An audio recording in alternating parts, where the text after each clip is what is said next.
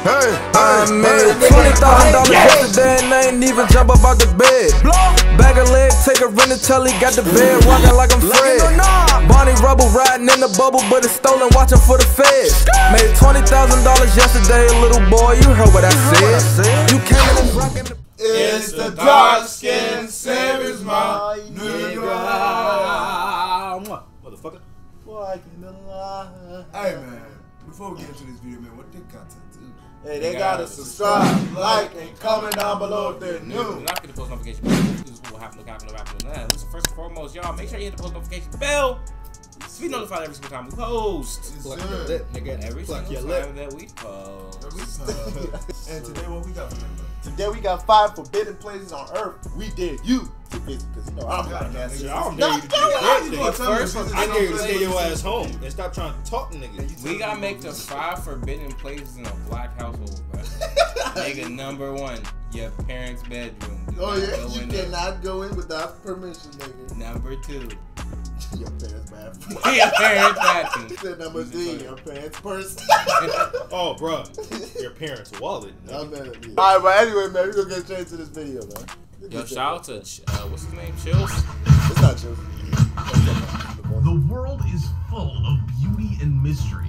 And with modern day transport, it's easy enough to journey to anywhere you want to experience the local culture and sights. Yeah, that's tough. There are, Gotta though, a number of places where visitors are not welcome, whether it be for their own safety or the safety of others. In this video, we'll feature five forbidden places on Earth that we dare you to visit, if you're brave enough. Before we begin, make sure you hit that How much you want to bet on this video? I'm, I'm, I'm, I'm, I'm, I'm, um, I'm gonna call it out right now. Be an island with indigenous people on it that don't know nothing of like like technology that we have. and to get notified every day for more amazing content. With that being said, let's begin. Number 5. Snake Island, Brazil. Snake Island. The Island. snake sends shivers down Oh, your I've seen Snake that Island, this bro. is the last place Yeah, on this. Earth you'll never visit. Because the Forbidden Island. Oh, that's the first thing Oh, you said. You said it's gonna be on the island, bro. Nah, I said it's gonna be like an island of like people who don't even like know anything about the technology that we have. It's gonna be indigenous people. island of Ilha de Queimada Grande is home to one of the Omega- most dangerous Oh, that shit looks in nasty the to world. look at. Located 20 miles south of the coast of Sao Ew, Paulo, the the Brazilian government has banned anyone from visiting this treacherous Ew. place. But that doesn't stop a brave few from setting foot on its shores. From a distance, Of it course. seems like any other island in that region. But this 4.6 million square foot outcrop is the only known habitat for the Bothrops insularis, also known as the golden lancehead viper. There are a lot of them here too, with estimates suggesting as many as 4,000 of the snakes writhing around the island searching for food. Growing up to 46 inches long, the golden lanceheads get their name because of their distinctive heads.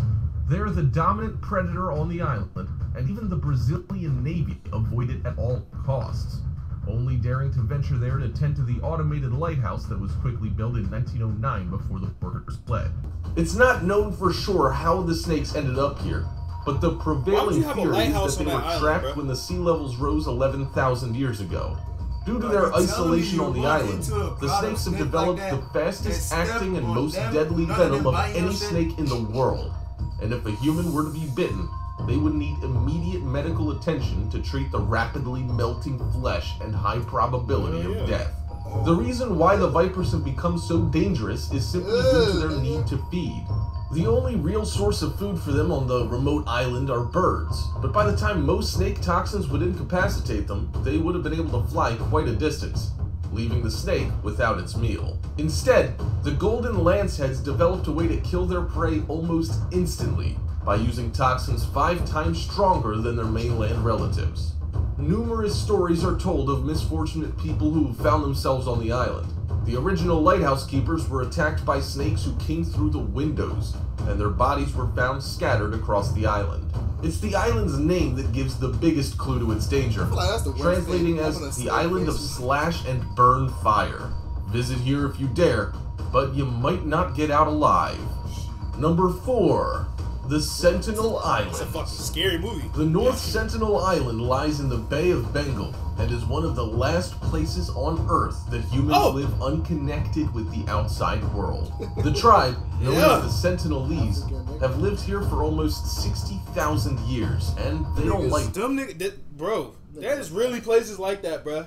Where it's like they know nothing, like they're locked away from the world, like I'm they not- know nothing. Like Like, they see a helicopter, go, what the fuck is? Like nigga, You know they, what's they, crazy? they don't know what the hell. This shit like that in America, like, Yeah. bro, we be knowing so much about technology, but we don't be knowing much about countries, bro. The island itself is pristine and unaffected by modern machinery. It's covered in thick forest, and the coast is surrounded by vibrant, unexplored That's reefs. The indigenous people have been recorded throwing arrows at low-flying aircraft and helicopters, and any attempts at communication have been rejected. forced. Even following the devastation of the tsunami in 2004, they were seen aiming arrows at an emergency rescue helicopter, an act that was taken as evidence that the tribe had survived and should be left alone. Because of their isolation, very little is known of the Sentinelese people. They're hunter gatherers who move and live in different parts of the island depending on where the food sources are, and there are thought to be between 50 and 500 of them. Attempts in the 70s and 1990 to make contact were responded to with arrow fire, and two fishermen who spent the night in their boat near the island were killed in their sleep. This hostility and the clear disinterest in being in contact with the rest of the world has led to Survival International, the organization that monitors and protects tribal people, recommending that they be left alone. Their lack of contact with others will also mean that they'll be vulnerable to common diseases that they have no resistance Yeah, to. So that's the only. That's the scariest shit to think about. Like, nigga, them niggas are so isolated to the point that if we was to go there and try to like, nigga, we could kill them off by the simplest shit by coughing on them because they're not immune to diseases that we are because they're so locked away. Like they're they're like we're so the reason why they we're don't we're, we're we get barely sick like that is because we're immune to that shit. We we're so used to getting sick and shit after generations and shit. But nigga, these niggas, bro, they can die just by a, a cold, bro, because they're not used to that shit. nation of their society would almost certainly end badly and reinforce their distrust. Out of respect, the Indian government has ruled it illegal to get within five kilometers of North Sentinel. The most we'll ever learn about this unique that good said. So I was like, that balloon. I don't know. I thought that nigga turned around, bro. And then I realized that he looking at the nigga in the screen. And the something. crazy thing about them niggas, bro, you I bet you millions of dollars, bro. Them niggas could smack your ass from deep, bro. Them niggas throw Oh, a spear. yeah. Them niggas throw a spear. Nigga, did you Bro, them, that bitch would disappear. Bro, they they were throwing spears at, At helicopters. Like, nigga, what the the fuck? You know what I'm saying? And you know how the helicopter had to beat them motherfuckers all along. Boom, boom, boom. Yeah! Nigga, them motherfuckers. That's, Nigga said, "Oh, la, la, la, la, Nigga, That's at least Yeah, yeah, hundred yeah. feet in the air. Like, bro. nigga, no bullshit. That's at least. You gotta throw that motherfucker for real and hit it too. Like, mm-hmm. nigga, I know more than one stick hit that helicopter. That helicopter swerving and shit, them niggas still tagging them up. Nigga said we don't need guns. from aerial photography and anthropological study from afar. Perhaps one day they'll want to venture beyond their shores, but with rumors of cannibalism and extreme tribal rituals, it's unlikely there'll be too many volunteers wanting to get to oh, know Oh, them. shit, Number cannibals? three, Chernobyl. If you're a daring adventurer and looking for somewhere truly unusual to visit, then the town of Chernobyl in northern Ukraine should be on your list. It used to be a bustling town with more than 16,000 inhabitants, but events that took place in 1986 meant that the entire region was quickly evacuated. On the 26th of April that year, the nearby nuclear power plant was conducting a systems test on its fourth reactor, but something went terribly wrong. There was a sudden surge of power, and when the emergency shutdown was initiated, a further surge occurred that triggered a series of explosions. This The core of like the reactor became exposed and caused a It is. fire that sent a plume of highly radioactive smoke into the atmosphere. This plume drifted across large parts of the Soviet Union and across Europe and turned Chernobyl into a wasteland. Mm. The Soviets tried to cover up the incident, but when the radiation alarms were set off at the Forsmark power plant in Sweden, more than a thousand kilometers away, officials had no choice but to own up to what had happened. The Okay, I, I get confused about how this whole radiation shit works, right? I, I I get it doesn't even look like I mean it look like it look abandoned as fuck. Right. But like nigga, you could look at that shit with the naked eye and be to, oh man, It's good here. I can just walk around here. but in reality, bro, mm-hmm. you about to get your shit torched, bro. You about to be into a mic. You about to walk into a, a microwave. Microwave, Like, bro, that shit is wild, bro. I don't get how that shit works. It's like you can't see the shit. Yeah, you can't see it, bro. One of only two to ever be classified as a level 7 event on the International Nuclear Event Scale, with the other being the Fukushima disaster in 2011. Today, there's a 19 mile exclusion zone around the reactor to prevent people from coming into contact with the most radioactive area that will take hundreds, if not thousands, of years to recover. It's one of the most radioactive areas in the world and draws scientists and tourists from all over, although the time you can spend there is limited. The town was abandoned in such a haste that you can still see shoes, cups, and toys where they were left in the panic. Dang, them the niggas Chernobyl left. fairground, which was due Them to open a few days as after the accident, lays in ruins, Oh, never having been used. There's one unexpected positive to the evacuation, though, and that's the effect it's had on the local wildlife. Species on, roam free, and even rare birds have increased their numbers in the area. Tests are Really? regularly carried out to see if the That's local crazy. fauna is being affected by the radiation, and while levels are that bad, present, it's not affecting animal populations. In fact, they're thriving, which just goes to prove a pretty stark reality. The presence of humans has a far more detrimental effect on animal habitats than even a nuclear disaster does. Yeah, Number two, Heard Island. Heard Island is part of a remote subantarctic chain of volcanic islands in the southern Indian Ocean. It's approximately at the midpoint between Australia and South Africa at only 1,600 miles from the continent of Antarctica. Its complete isolation means that this is one of the last places on Earth untarnished by human activity or the introduction of alien species. It's covered with snow and glaciers, with a 2,745 meter tall volcano called Big Ben rising at its center. As it's remained undisturbed for centuries, the island is a great place to see natural forces at work with constant glacier flows, an active volcano, and a wealth of animal species who seek refuge from the deep, cold ocean that surrounds it. It lies under the jurisdiction of Australia and has been designated as a marine reserve with a number of creatures that are unique to the island, meaning people aren't allowed to get anywhere close without express permission. It's not the sort of place you'd accidentally show up at either. It's a two-week voyage from Australia that passes through some of the most hostile ocean environment on Earth. The sheer cost of reaching Heard Island means that boats only occasionally reach it, on average once every three years, and they're all chartered for scientific missions. Sadly, the island is more susceptible to global climate changes than many other places, and the impact in recent years has It's been them school clear. clock, bro. The glaciers All right, have um, let me pause this shit. Let me just say something. Yeah, I know that. We let this video play long as hell. Mm-hmm. But let me say what happens, y'all. Uh, we really be learning shit. I was learning. Bro, I ain't gonna lie, I was into This this shit. motherfucker Yeah. out here patient and shit. I was like paying shit. attention to Come on, what the fuck you talking nigga about. said bro. Bro, I saw a once video- every three years. I saw a video similar to this, but like it was like there was a part where there's an island where he's like it's called I think it's called like Sleepy Island or some shit. Mm. And you go into that island, bro, you will fall asleep, bro.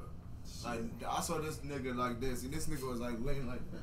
That nigga Nelson was probably out born with with his it. but this has opened up fertile soil and created numerous ponds and pools that are now teeming with life. If you're looking for solitude or simply an adventure and have deep enough pockets, then Heard Island is one of the last true wildernesses on the planet, and we dare you to visit. Yes, you'll be subjected to endless rain, snow, and freezing temperatures, but you'll have visited a place where very few have set foot before you. Number one. Monkey Island. Cayo Santiago is an island off the coast of Puerto Rico. Commonly referred to as. Monkey Island, don't be under the impression that it's full of cute little animals ready to play with you, because the reality of this place is a lot darker. The story began in 1938 when an American primatologist, Clarence Ray Carpenter, released 400 rhesus macaques. Rather than trying to populate the island, he was the first of many to conduct experiments looking at their talking to these behavior in adverse situations. He realized that it would be much easier to breed a population close to home instead of chasing around for specimens in Africa. So his idea test site was born. For the following 80 years, the site was used to conduct tests that ranged from the harmless, like observation, to the more sinister, such as disease research. Up until recently, there were almost 1,000 monkeys living on the island, and most of the time it seemed like they were observing the humans rather than the other way around. But you mustn't get too close to them, because they are all natural carriers of a virulent strain of herpes B, a Hey. form of the virus that can be deadly to humans. told is not to let the monkeys pee on you. Put that to the side though, and what you'll find Yeah, is bro, a you don't want no fluid beautiful island full of nature's most inquisitive animals. As things stand, the site is technically public property, so anyone can visit, but moves are being made to change the rules so only scientists aligned with the facility are allowed to set foot on the island. Sadly, Hurricane Maria that tore through the Caribbean in late 2017 made landfall at Cayo Santiago and devastated the island. With few places to hide, it was feared that a lot of the monkeys would have lost their lives in the storm. Luckily, the numbers still to be thriving though, so if you're daring enough to visit a place where humans have to eat food whilst sat inside a cage as monkeys look on, you'll find plenty to see. Super exciting news, everybody! The time is Don't give a single flying flipping fuck. I Super exciting much. new man. All right, but hey man, just make sure y'all go subscribe to this nigga in the comment. Uh, I ain't gonna lie, this felt like I was in school. You know, the teacher pulled out that TV. it's good- yeah, Shit, good me. I thought I was in The school brain for a pop second, quiz but I shit. Which Brain one, pop, which what's one y'all? Called? Yeah, brain pop. I remember that shit was fun. I'm you talking actually about learned a lot from brain pop. Yeah. Like, I just feel like the Snake Island shit. That shit. That one look scary as shit, but That if I look ever like see a yellow in there, but you're motherfucker, bro, coming alive. nigga, I am. You go into that Snake Island, but you're not coming out alive, bro. That'll be it for this video, man. I hope you guys enjoyed this video, man. Comment down below if you want to see more videos like this, and please don't forget to Like, share, subscribe if you're new. God loves you. God bless you. and Weezy we eyes.